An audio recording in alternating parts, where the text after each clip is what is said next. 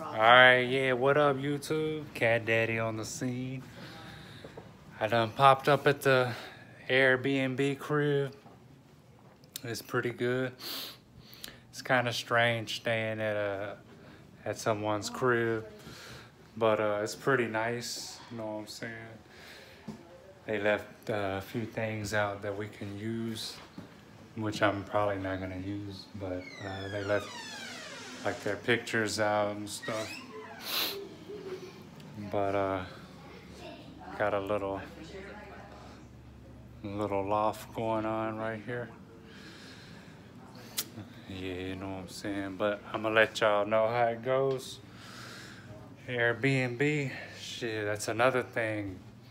Y'all could actually get a job hosting Airbnb houses, make a little extra money on the side, or you could rent out your crib and make some uh, money doing the Airbnb. So, uh, yeah, it's pretty tidy. I think uh, they got a pretty nice crib. They did a good job.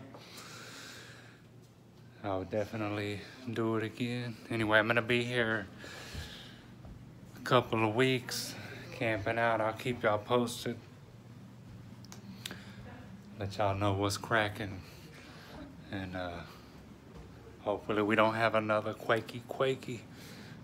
It's all good. Anyway, like the video, comment, and hit that subscribe button. Alright then.